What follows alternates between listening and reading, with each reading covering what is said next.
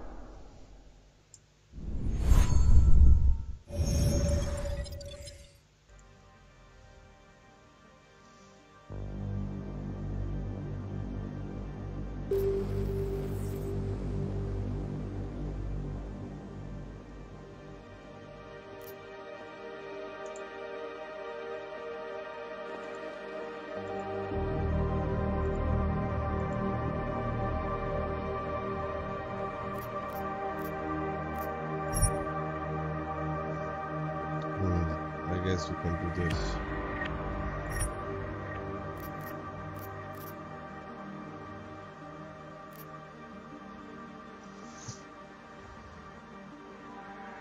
Sure.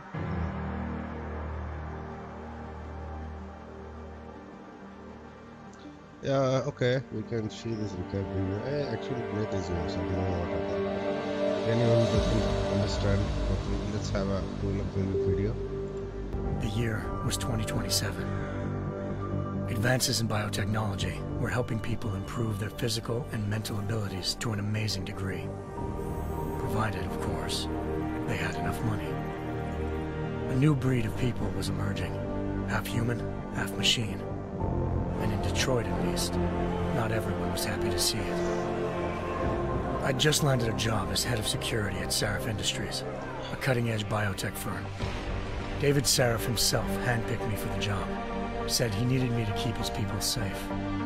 My ex, Megan Reed, was one of them. Brilliant neuroscientist, Megan had found a way to make augmentation safe and affordable for everyone. All she had to do was present her research to Congress. But the night before her big meeting, my security measures failed.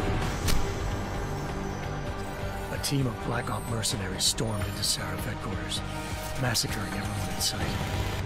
Three of the mercs were heavily augmented walking tanks. Their mission? Take out Megan and her team. I tried to stop them, but their leader tossed me through a plate glass wall. Last thing I heard as his bullets slammed into my brain was Megan's dying scream. I should have died with her. Only I. High-end military-grade enhancements saved my life. The best augmentation Sarif's money could buy. It Took me half a year to get a feel for him. Should have taken longer. But six months into my recovery, Sarif Industries was attacked again. This time, by a radical group of pro-human purists. Violent, militant, and fanatically opposed to human augmentation. They claimed to be members of Humanity Front, a non-profit organization that wanted the UN to limit biotechnology research. The thugs broke into Sarif's factory and found machinists working overtime on a top-secret military And I saved them all. the Typhoon. Sarif sent me to retrieve it. And when I did, I found one of the so-called purists next to it, wired with cerebral implants, trying to download its classified specs. Obviously, something more was going on. The Og killed himself before I could question him. Sarif ordered me to dig deeper, so with the help of Frank Pritchard, Sarif's head of cybersecurity, I did. Turns out a second hacker, had been controlling the AUG's actions from somewhere off-site. Pritchard and I tracked his signal to a secret FEMA internment camp in Detroit. the Black Op mercenaries were there. The same mercs who'd left me for dead six months before. Figured they'd try again when they saw me. Wasn't so easy for them this time. I took out the tank named Barrett. Even got him to give me a new lead. A penthouse apartment in China. Of course, we both knew it would be a trap in the end.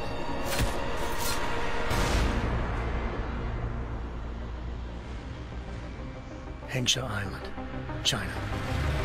Home to a city so crowded, they had to build a second city on top of it. They should have taken my save file. At least it would give a Lucky for me, very good uh, description depending on what I did because Sarif Industries ace pilot had lived in Hengsha before.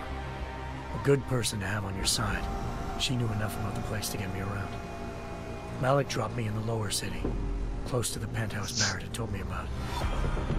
Bell Tower Associates, a private security firm under contract to the Chinese government, had agents tossing the suite when I arrived. Just not for the reason I'd been expecting. Turns out the man who lived there was a criminal hacker named Van Bruggen. The same hacker who'd been remotely controlling the AUG in Sarif's factory. Van Bruggen's panicked decision to force the man to commit suicide had been a mistake. Now his mercenary partners were gunning for him, and I needed to find him before they did. Locating Van Bruggen meant playing nice with the Triads, Hengsha's organized crime lords. They had the hacker holed up inside a low-rent capsule hotel. By the time I found him, Van Bruggen had no qualms giving up the woman who hired him. Zhao Yunru, president of the Tai Yong Medical Corporation. According to Van Bruggen, Zhao wanted to monopolize the augmentation industry and had hired Black Op mercenaries to destabilize her competition. Sarif Industries was at the top of her list. To prove this, I needed to get inside TYM and grab a surveillance hologram off a server. I suspected Van Bruggen was hiding something when he told me this, but nothing could have prepared me for what I saw. Megan wasn't dead.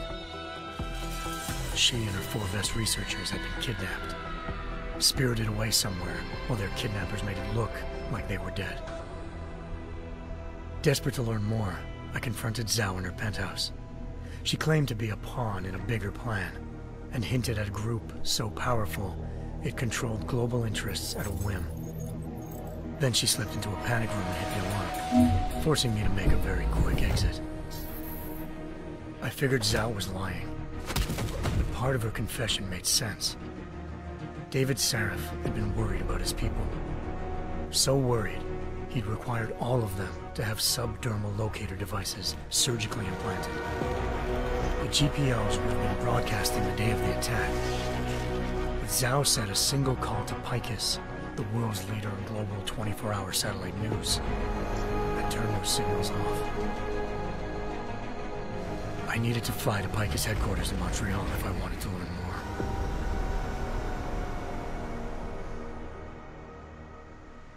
Eliza Cassan, Picus Communications' First Lady of News. Malik thought I was reaching when I told her Eliza was involved in this. The world's most famous news anchor, working with a mercenary hit squad.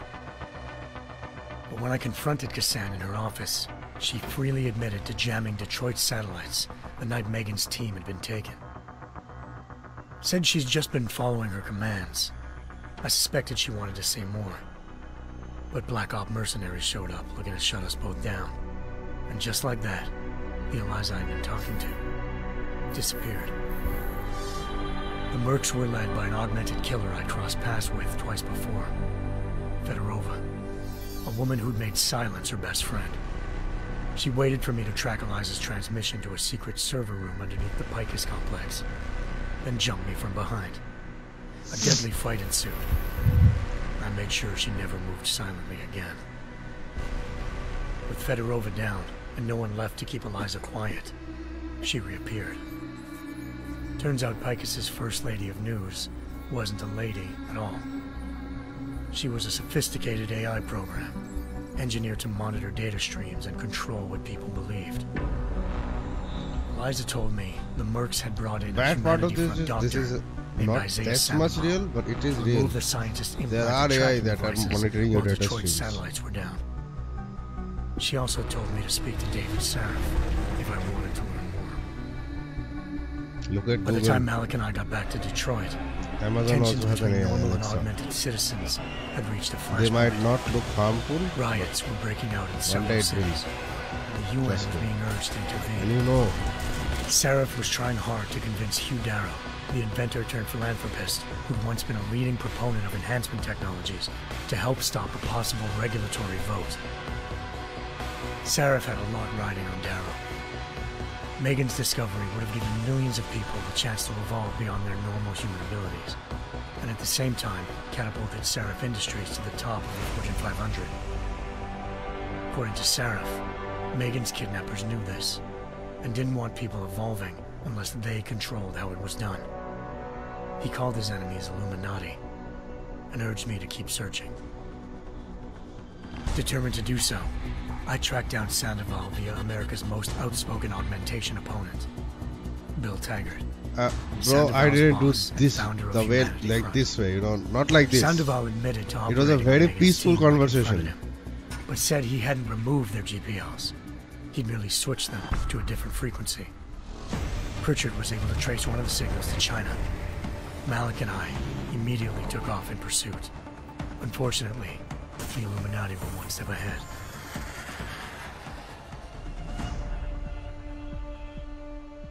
Ambushed. Shot out of the sky by Bell Tower Associates, seconds after entering Hengsha's airspace. Malik's piloting skills saved me. After a tense and bitter struggle, I escaped into Lower Hengsha. The tracking signal I was following led straight to the Triads, or more specifically, Uh, to the quick note, augmented arm Malik of Tong survived here because I actually helped of a her. gang of augmentation harvesters. Tong said they'd taken the arm off a corpse, which Bell Tower had left at their door. Meaning, at least one of Sarif's scientists was dead. Maybe not the rest of them, though. Tong pointed me to a port used for human trafficking and helped me slip aboard a Bell Tower ship. It was sailing to Rifleman Bank Station, a military base in the South China Sea. Bell Tower was holding kidnapped civilians as prisoners there, and using them to perfect the Hyron Project, a human-computer interface that left most of its test subjects dead. My search for Megan would have ended then, if not for a mysterious ally named Quinn.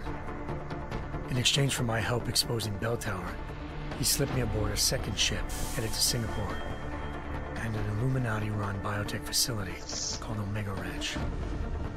Three of Sarif's scientists were there, forced by their captors to create a technology capable of remotely shutting down augmented abilities.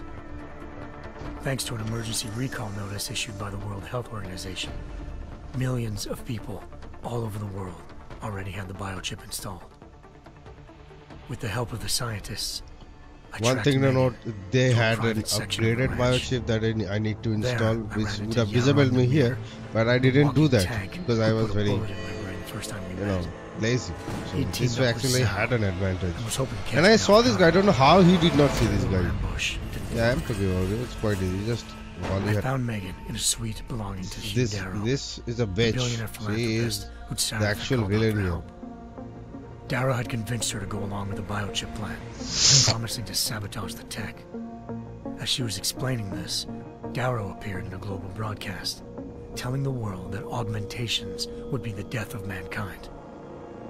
Then he activated the biochips to prove his point. All over the world, augmented people flew into a killing frenzy. Darrow had betrayed everyone, and it was up to me to set things right. To do it, I had to reach Panchaea, a massive installation in the Arctic Ocean.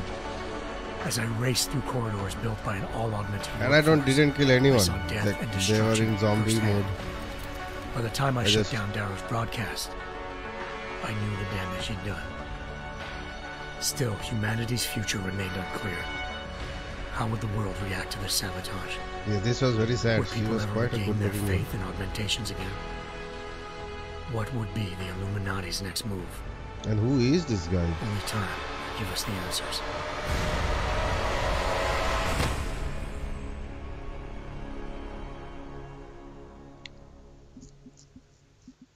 Yeah, that's not a, quite a good recap, but I guess yeah, I can see that it's just. Uh, let's head over to Mankind Divided.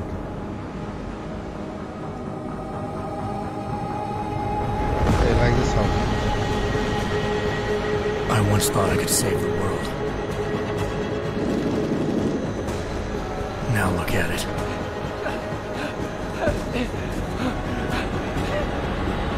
In yet another augmented terror attack, 251 passengers aboard Sista Airlines Flight 451 were killed.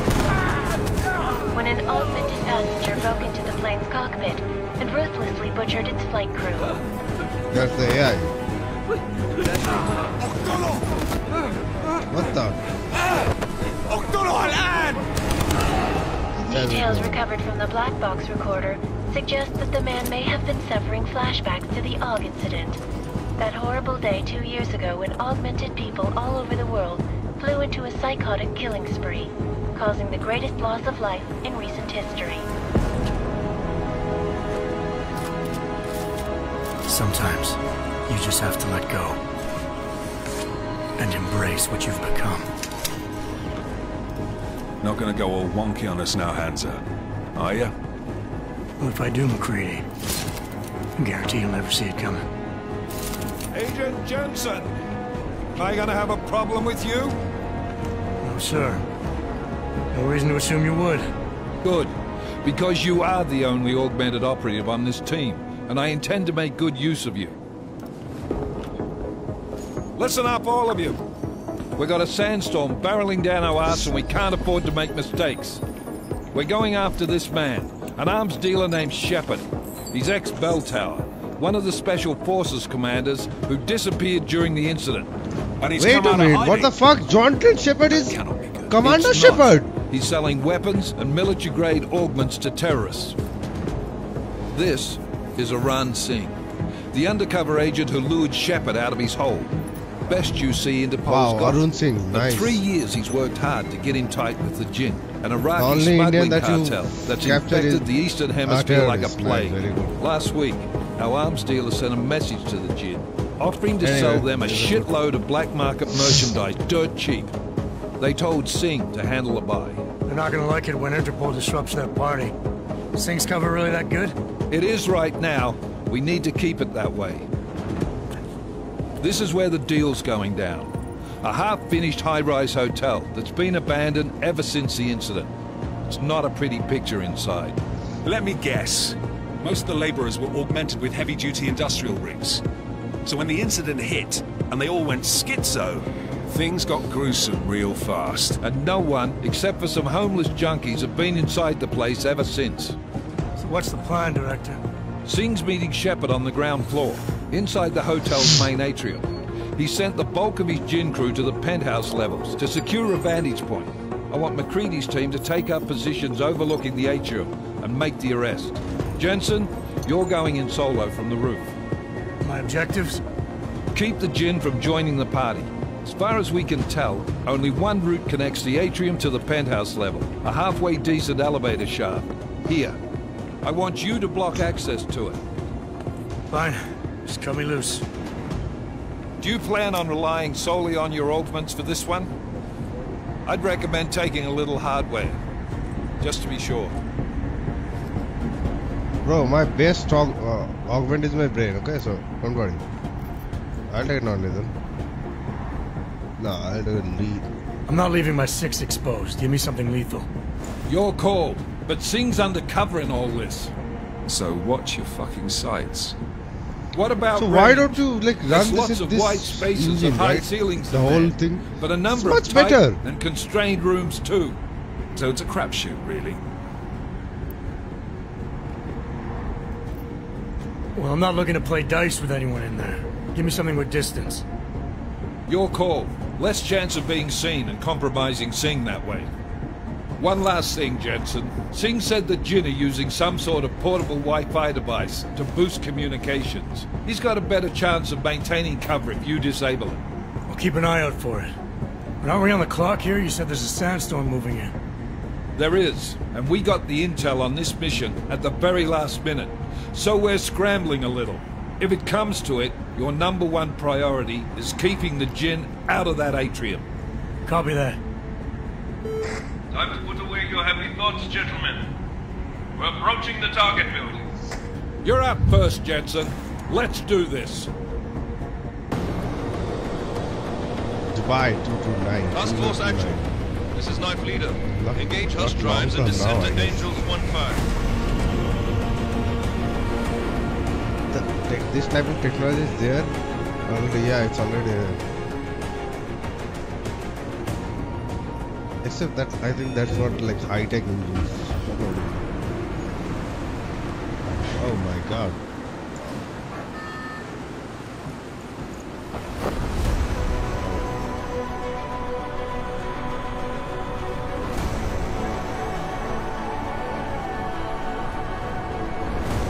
Oh wow. Yeah, baby. Woo!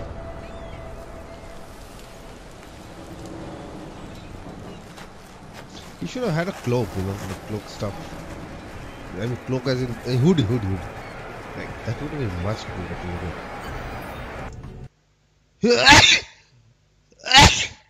Sorry. That. Udi Baba, Udi yes. Hold up. It's a lot of sensitivity.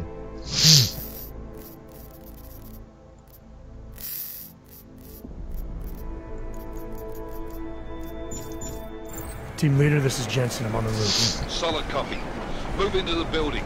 The access route you need to block is at the far end of the penthouses. And keep in mind, the direct route might not be the easiest one. Roger that. McCready will advise once his team is on the ground. Miller out.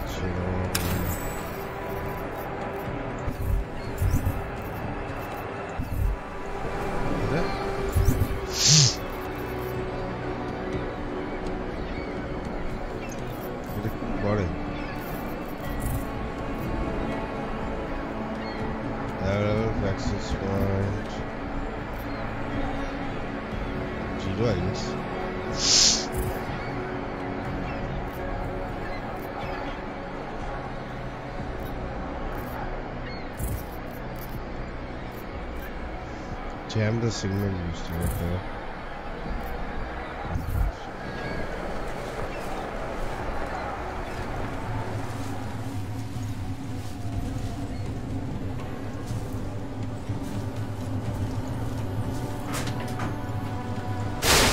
It, it, it,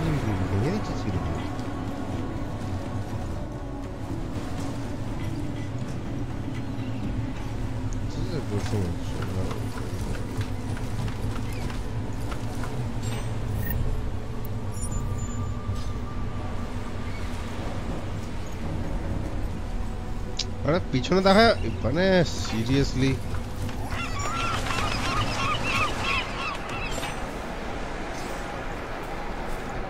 Oh, there we go.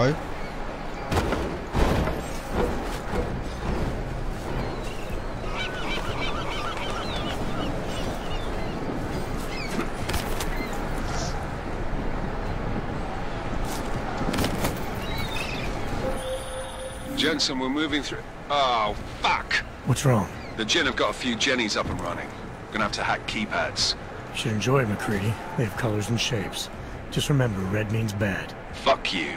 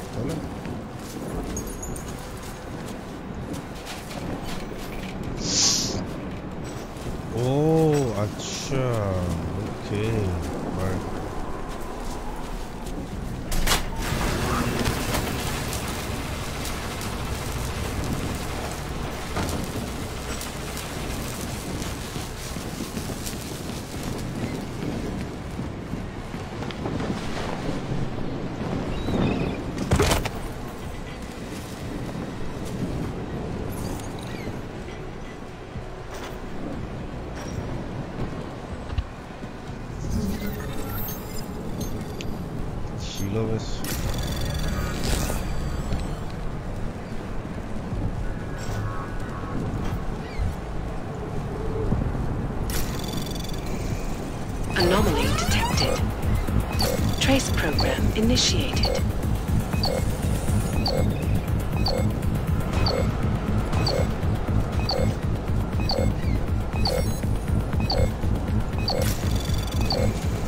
Access granted.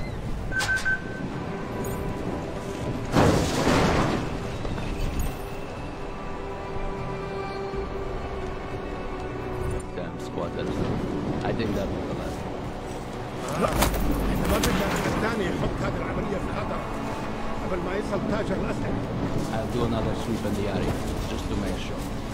علمني إذا أي شيء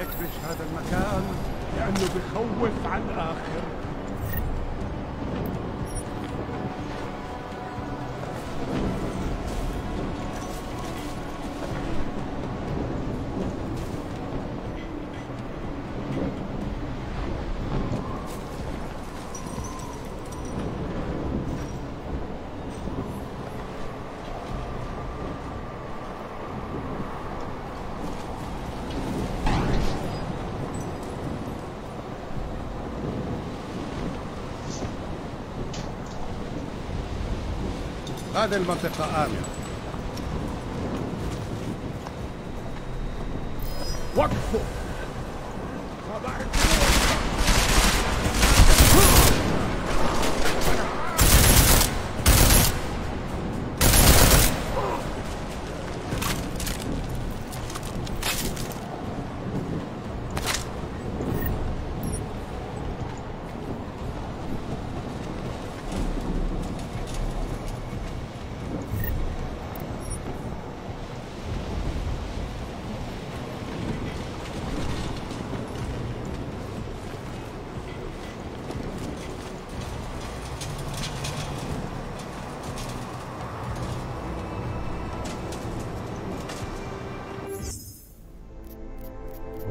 Okay, I actually fucked up.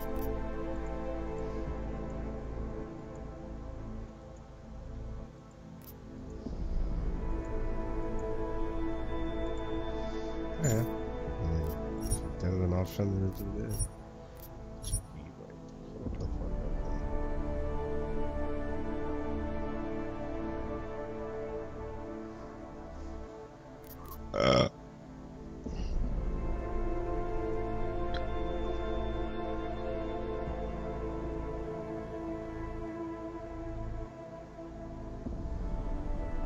Okay. So, yeah, let's keep it till this, I guess. Uh, save.